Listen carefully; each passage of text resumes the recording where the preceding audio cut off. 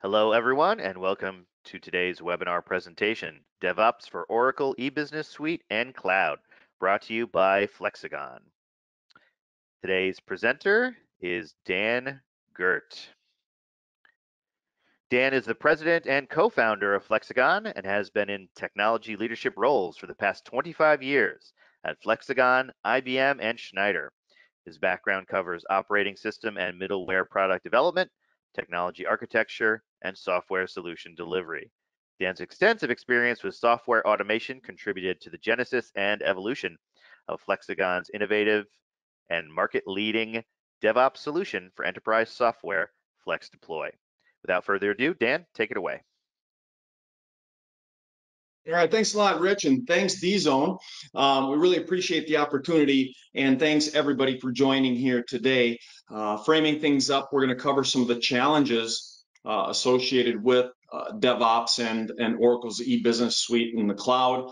Uh, we're going to bring things to life with a FlexDeploy uh, overview, and then um, spend a lot of time in customer case studies and and describing the challenges in the solution and demonstrating uh, some capability around that, and then we'll and then we'll wrap up. Uh, you, you know, back uh, in uh, early 22, uh, we partnered with uh, Pulse Q&A to conduct a survey of about 100 enterprise tech leaders around the globe really to better understand where companies are struggling in optimizing their DevOps efforts. And two things uh, uh, came up, right? Two top responses were legacy architecture and the complexity of the environment. And so those two combined for 49%, um, so about half of all organizations. Um, but why, you know, why, why is this all so complex? Well, if we take a step back and consider the past two years, right? We know that you know, due to the uh, incredible response by technology teams um, really over the pandemic, the, the, the life cycle of pan pandemic, know, business demand and expectations really intensified. Um, tech teams continue to shift more, more agile, more continuous software development and delivery. Um, you know, adopting new architectures, cloud services, applications, middleware, tools, really to support the entire life cycle from you know, planning, testing, securing, you know, and monitoring. So this expanding tech landscape uh, is really combined with the existing complex systems uh, and and the the deeply rooted processes that they just don't go away very quickly. So the tools, um, you know, have been adopted to streamline the development and delivery workflow. Uh, but the challenge is now the organizations struggle to manage and support the, the, the really a non-integrated DevOps tool chain.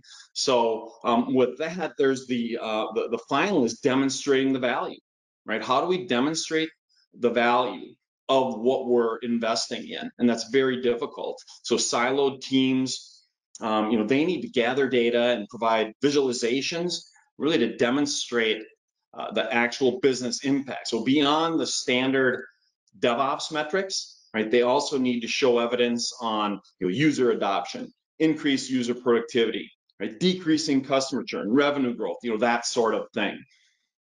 Um, and well, you know, all that complexity and the challenge leads to Flexagon and to FlexDeploy.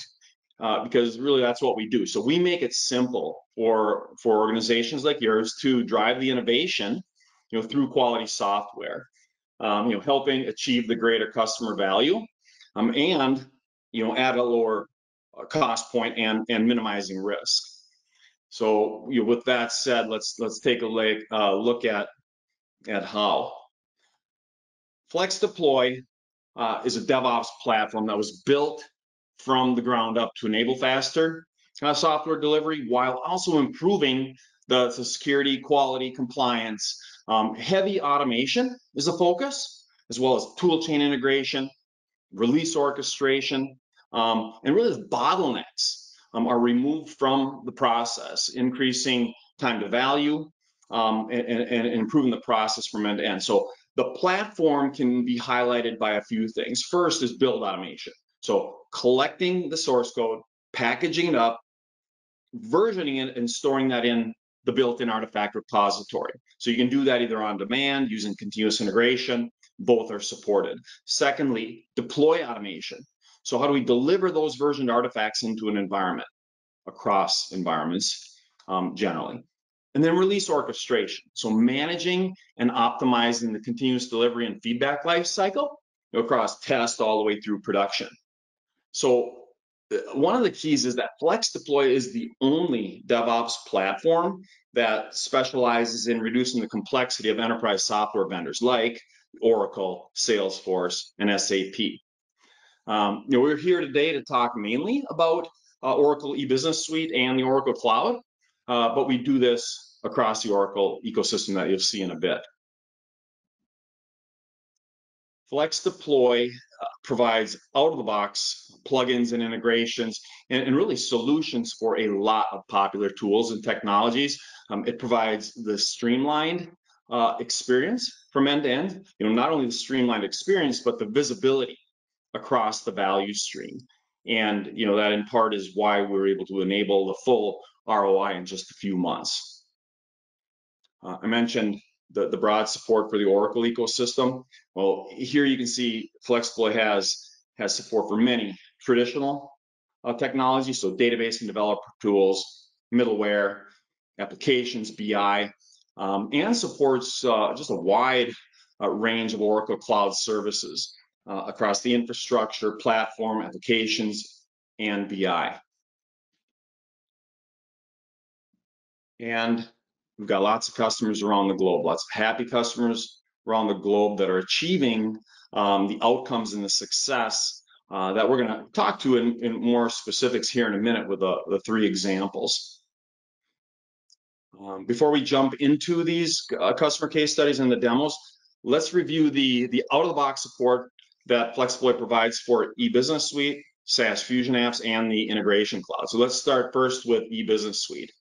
Um, a few things um, as part of a, a very complex um, enterprise application. Um, we need to, to, to automate the deployment of 25 or more customizations, right? Objects that, that eBusiness Suite customers are very familiar with, AOLs, Java, SQL, reports, forms, you know, all those sorts of things um, that need to be packaged up and deployed, and we can automate that entire process while also supporting things like the ADOP patching mechanism in 12.2, um, managing different tiers of the eBusiness Suite uh, application, as well as doing things on the, call it on the periphery that are very common and painful, you know, post-clone refresh, data fix automation, putting controls around that. Um, and whether you're running on-prem or running eBusiness Suite in the cloud, you know, both are supported, both are very popular. The next is the SaaS Fusion apps. So whether you're using the ERP, HCM, SCM, sales, um, out of the box support to be able to know the details of all of those um, those applications and manage and automate the the functional setup migration, right? So there's um, setup tasks and things like scope setups, value sets, fast formulas, things that need to be managed and packaged and, and, and ultimately tested and delivered through a series of environments.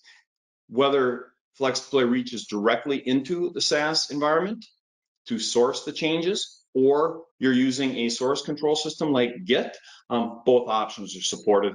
And then very importantly, the other capabilities around business intelligence and reporting also is out of the box support. So things like OTBI and BIP.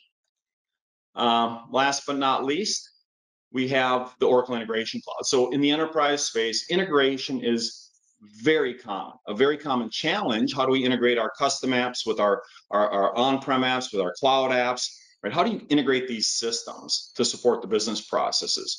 Well, in this case, Oracle's Integration Cloud is very popular. And the reality is, is it has some complexity associated with it. So how do you get the power of the Oracle Integration Cloud and deal with the, the, the, the challenges associated with managing and, and, and moving things like integrations, connections, lookups, libraries, these different code and configurations that need to be deployed across a series of environments. And then whether you're source controlling in Git or having FlexDeploy reach directly into an OIC environment, we support both. And then very importantly, how, how, do, how do we enable the developers to spend their time where they're most productive, right? Developers need to be productive. So put them in their studio, let them develop in the studio, and then we have this really seamless browser extension that allows you to drive the, the productivity um, and click and trigger build deploys um, right from their development environment. Um, as well as managing things like config file deployments. And then across all of these, do smart deployment, right? Only deploy things that need to, only things that have changed, utilize resources most effectively. So with that said, we're going to drive through three examples, um, customer cases with, with Avery Dennison, HNI, and Heath. They're, excuse me, they're all using a lot of Oracle technology, um, but they're different, three different threads of going from where they're at today, leveraging legacy and traditional technology and evolving that over a period of time. And in a nutshell, you know, Avery, they're running eBusiness Suite on-prem. They will adopt cloud over time, but that's a little ways down the road. And then in addition to that, they're using Salesforce, okay? HNI, similar from an e-business suite perspective, but a twist. They moved all of their Oracle ecosystem, e-business suite and other things onto Oracle Cloud Infrastructure, all right? And then while doing that, adopting Oracle Cloud Integration, analytics, what you might know as PaaS services, and also staging in the adoption of some of the SaaS Fusion apps and BI. Okay. And then the third is a contrast where Heathrow was using eBusiness Suite and they retired that and moved everything to the Oracle SaaS Fusion apps. Okay. And when they did that, they also used Oracle integration as well as they had a billing system. It was a crown, crown jewel and it uh, is a custom built application using Oracle Apex and running on the Oracle Cloud infrastructure. Okay, so three different uh, cases that we're going to dig into.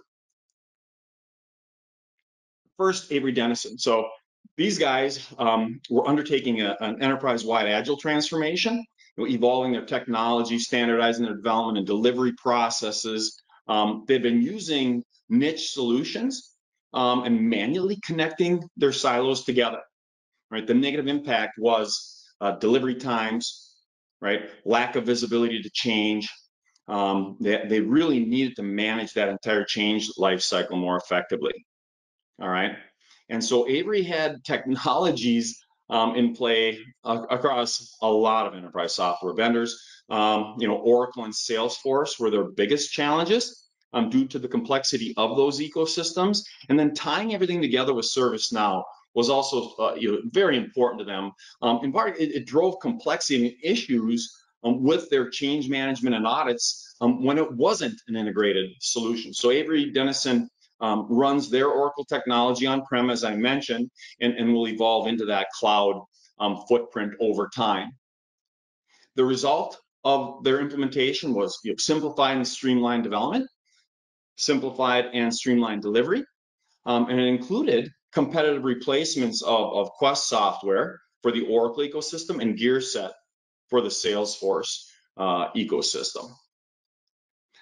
The next is HNI, is who's one of the, the world's largest furniture manufacturers, uh, Fortune 1000 company. They were headed to the cloud, right, moving e-business suite and friends um, to run on Oracle Cloud infrastructure and adopting those new cloud services that I mentioned. Uh, the complexity and inefficiency was incredible, right? They had, they had um, been heavily scripting their processes and plugging that into Jenkins, and that simply wasn't sustainable.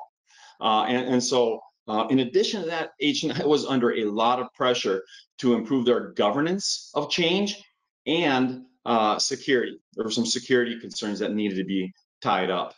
Um, they, similar to Avery Dennison, um, you know, had, had, a lot of technology. They had disjointed tool chain, was causing productivity and traceability issues. Uh, they had a whole bunch of Oracle and, and, and, other enterprise technology that was really complex um, for development, deployment, and the operational aspects of this.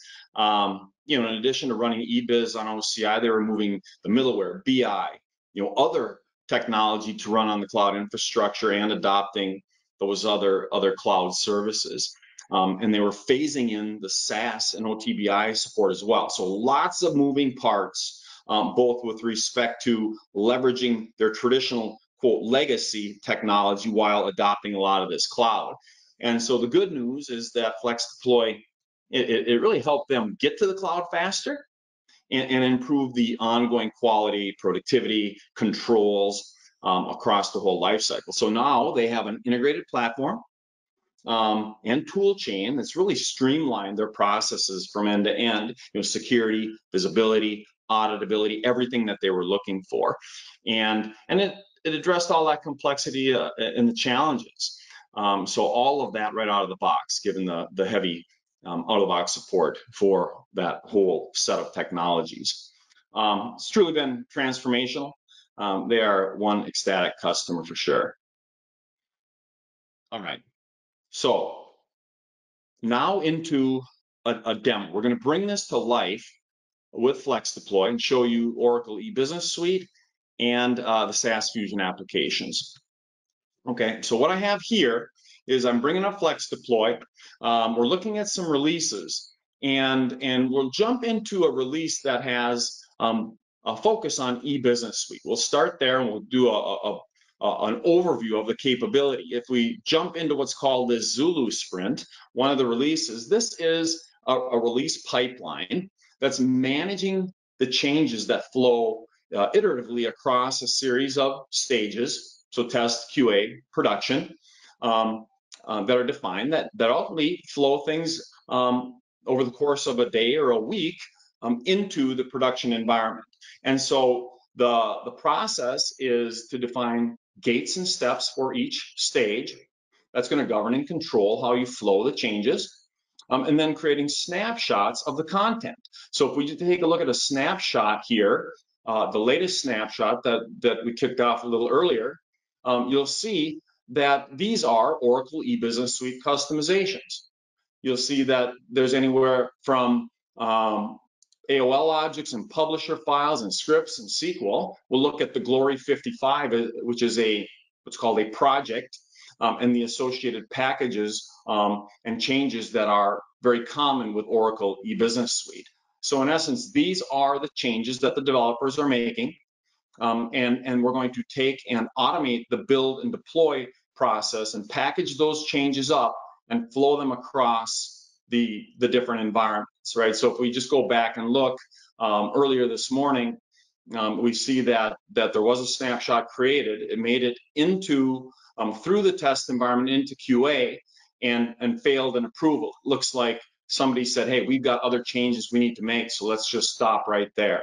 Okay, so in essence, we have a, a, a nicely controlled, streamlined process that will ensure that not only do we have the, the, the gates like test managing test results or an approval process or maybe a schedule, but then we can automate the deployment of the changes, execute different tests if we want to in an automated fashion.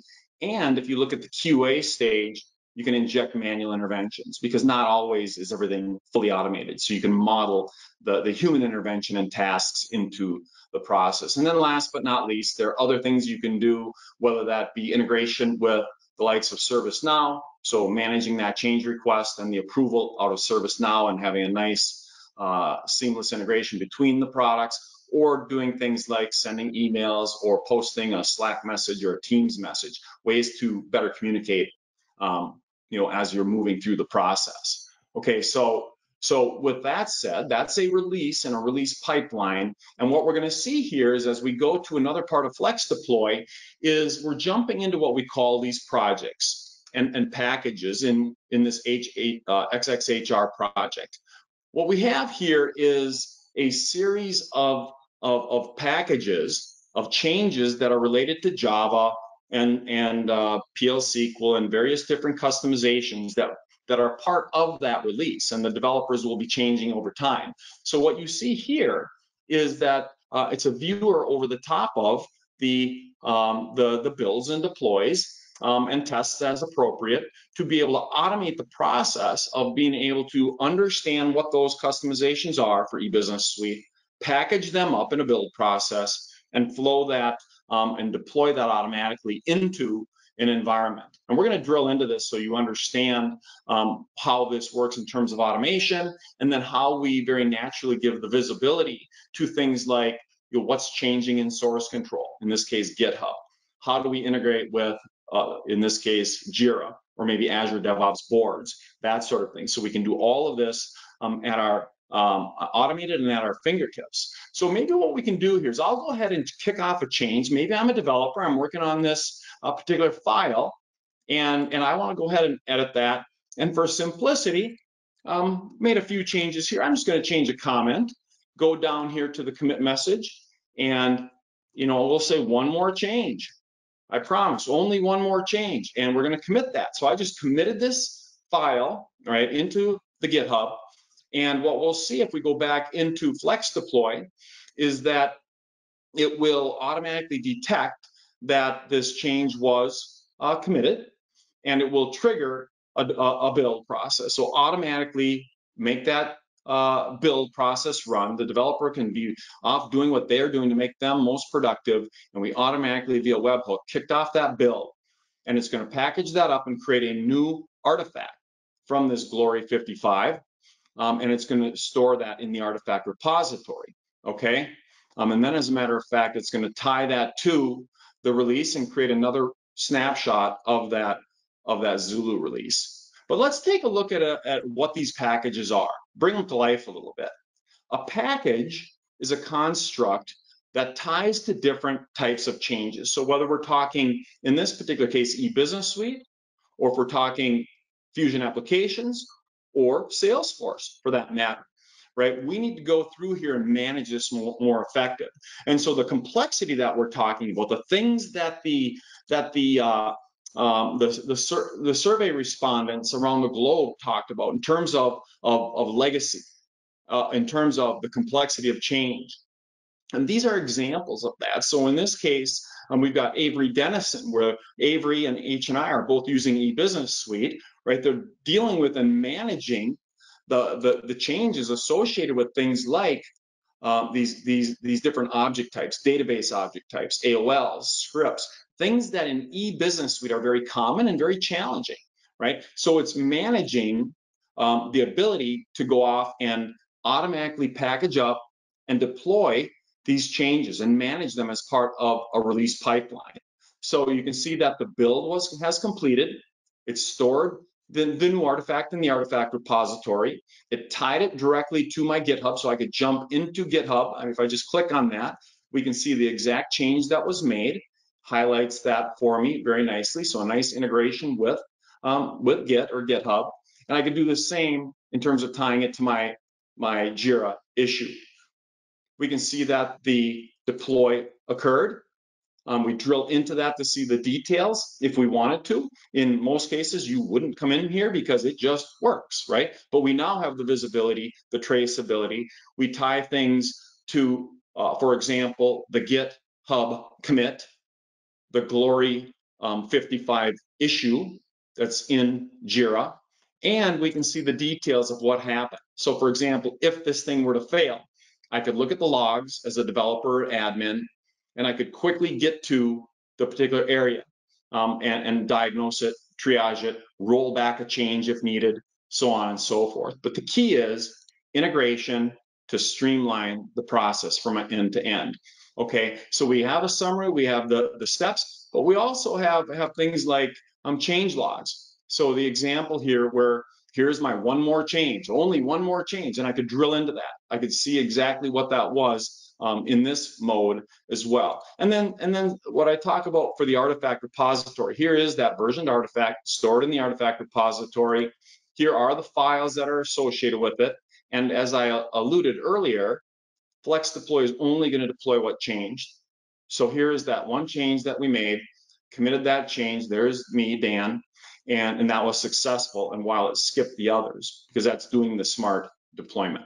So all of that sort of capability um, at your fingertips. Um, and, and, and really it comes because of the, the ability of FlexDeploy to provide the, call it the detailed engineering that knows all about eBusiness Suite. So for example, what I'm showing you here as, a, as a, uh, uh, an example of that um, detailed engineering behind some of these plugins we can go to the deploy workflow. A workflow is a construct within FlexDeploy that basically takes advantage of what are called plugins. So if we filter on eBusiness Suite, we take a look at the eBusiness Suite plugin, you see that there's about 30 different operations for not only building and deploying eBusiness Suite, but doing many other things. So for example, if I just jump over here to these reusable workflows, we can see that in addition to doing deployment and automating that process, there are many other out-of-the-box capability.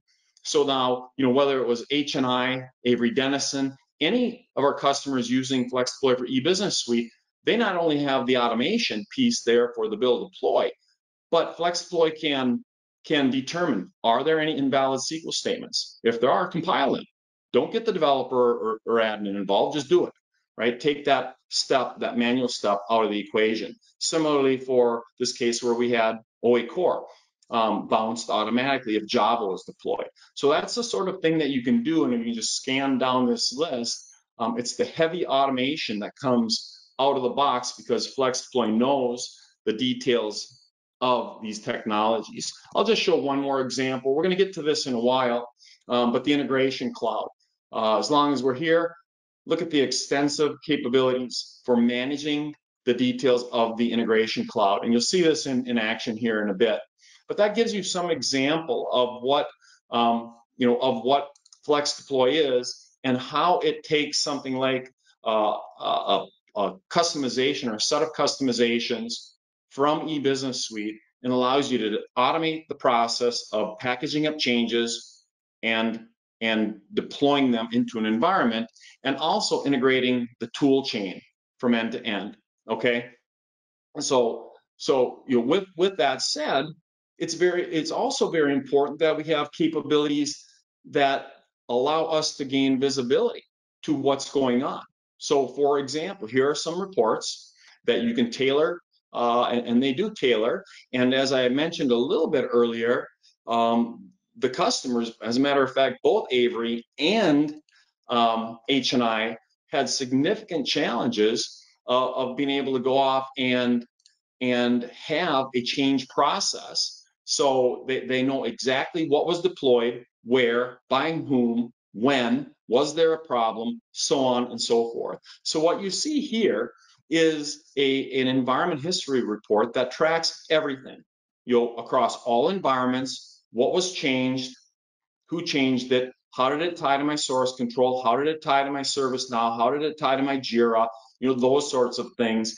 And we are able to do things like support our audits very, very quickly right? To be able to deal with that complexity that exists, not just in terms of automating the, the, the packaging deployment of code and configurations, but of, of, of, compliance and understanding what's where, right? Being able to manage that and prove that you truly have intellectual control um, and, and, can prove it um, with things like this reporting capability. Okay, so so again, tying that right directly back to a couple of those customers, um, it was a big deal for them. Now, last but not least, as a matter of fact, if I just bring this up, I'll hit the show details. Um, I meant to show this, and, and, in essence, what you have here is we just cracked open those, um, those, those reports and went right down to the file level. Okay, so here's the exact PKB, LDT, right? so on and so forth that is associated with these Glory 55s and having it tied to the source control, including the revisions and all of the details that it needs um, to be able to manage and troubleshoot and audit more effectively. So with that said, another key element, and it's really the last thing that we're going to show related to um, eBusiness Suite, and all of these apply to any of the technologies we're talking about. Okay, we're not going to go back into each one of these as, as we bring up a few of the other, other examples. But just know that visibility is important, insight is important, and being able to understand, you know, what's been taking place and trend it and track it and talk about the efficiencies we have in deployment duration. Are, are, are, are, times where they need to be? Are we trending down? How frequently are we making changes? What's the lead time to change? So this is an example of a dashboard that can be completely tailored and customized for individual roles or personas. Um, they can be shared across groups and teams. uh, really optimizing both the developer view of the world as well as the end-to-end life cycle and, and the value stream of managing change from end to end. So, you know, that common theme across all of the three customers, right? That complexity that they had to be able to gain that insight because they were doing things manually. They're writing scripts. They're piecemealing the different tools together. It was impossible for them to get the insights like this. Um, and, and here it is out of the box so you can take advantage of that. Okay, um, so that is the uh, quick rundown of, of the Oracle e-business suite example and demo within FlexDeploy. Okay, and, and, and now we're going to jump over to the, the Fusion applications um, and, and take a look at that. So basically all of the capability I showed you applies to the Fusion applications. Um, but the difference is that the Fusion applications are clearly a different uh, uh, technology, right? Those SaaS applications, and we're dealing with the setup tasks, so on and so forth, and being able to automate that process similar to with eBusiness Suite, but do that for HCM in this case, or the ERP or the SCM. So what we can see here is similar um, activities around building and packaging of changes, deploying them into an environment, tying them to, in this case, the Omega sprint, that release um, that's associated with this. And then if we want to roll these together with eBusiness Suite changes or later with the integration um, cloud changes, um, you can you can package them up and group them into a release as you see fit. Okay, um, but let's take a look at the packages. So in this case, if we drill into one of these packages, we can we can see that HCM 125 um, specifically is managing a set of setup tasks. Okay, um, and, and in this case, if we look at the details, it's anywhere from from the value sets to the flex fields to the lookups. Um, the last one is managing the legal entity. So they're the details of the setups that are configured in an environment and need to be deployed consistently across environments. And so rather than doing that in a manual capacity, FlexDeploy has a plugin that knows the details of the SaaS solution. Okay, and, and, and is able to do that. And we're not going to go through the details, but you would see that if we if we open this up, you would see uh, very similar to eBusiness Suite, where we have um, you know the details associated with um, being able to package up and change uh, the, the SaaS uh, HCM setups. So here's a summary, right? We, in this case, we haven't tied any tickets or anything else to that, but we have some reports that get generated right off the bat, right? We could look at the, the, the, the logs and, and, uh, you know identify any issues that were occurring and, and be notified of, of that proactively so we could triage right maybe there were some tasks there aren't in this case or some change logs that sort of thing would be populated automatically as part of the end-to-end process.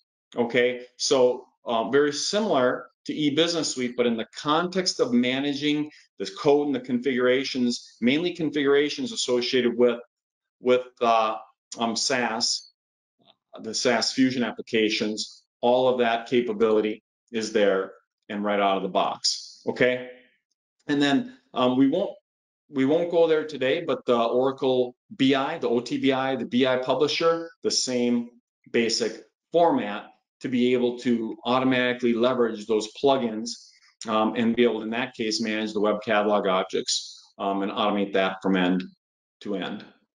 Okay, so with that said, you saw eBusiness Suite, a more complete, uh, if you will, overview of the of the solution to be able to automate the build and deploy process and roll things into release pipelines.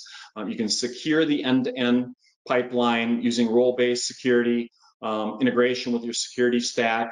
Um, scans and verification testing, all of that can be nicely integrated into the end-to-end process. All right, so let's go back and look at one more example, and that is Heathrow. Heathrow uh, was working with a good partner of ours, Capgemini, as part of a very broad journey to the cloud. The difference was that they were retiring e-business suite, moving everything onto the SaaS solution.